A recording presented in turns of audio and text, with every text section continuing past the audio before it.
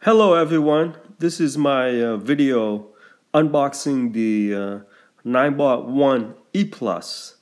I got it uh, as a Christmas present and it arrived uh, in uh, late November 2015.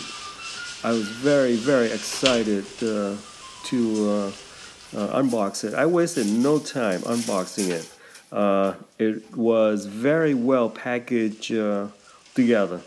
Um, it's uh, it's unlike anything I've ever seen.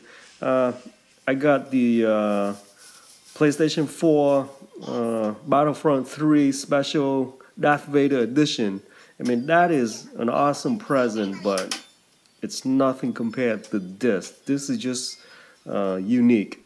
Um, unboxing it was uh, you know it was uh, it was interesting because everything is uh, I haven't seen anything like it before.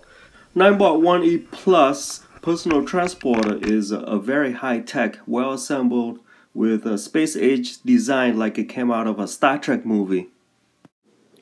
Now Ninebot is a company that uh, bought out uh, Segway. Segway was uh, facing uh, financial bankruptcy back in August and pretty much the Ninebot 1 E Plus is a, a one wheel uh, Segway basically. It has the uh, foot pedals on both sides, which we can stand on and use as a natural extension of our balance. They go forward, you just simply lean forward. They go backward, you just simply uh, uh, lean backward, or, or, or to, to, stop, you simply lean backward as well. Um, it's uh, the challenge is uh, the balance and I didn't want to get the two wheel Segway because that was that would have been so simple. Just step on, lean forward, go, lean backward, and go backward. Uh, this requires a little bit of a coordinations on uh, the rider's part. So I enjoyed that. I love that. And I was looking for an adventure, something cool. So this is definitely really, really cool.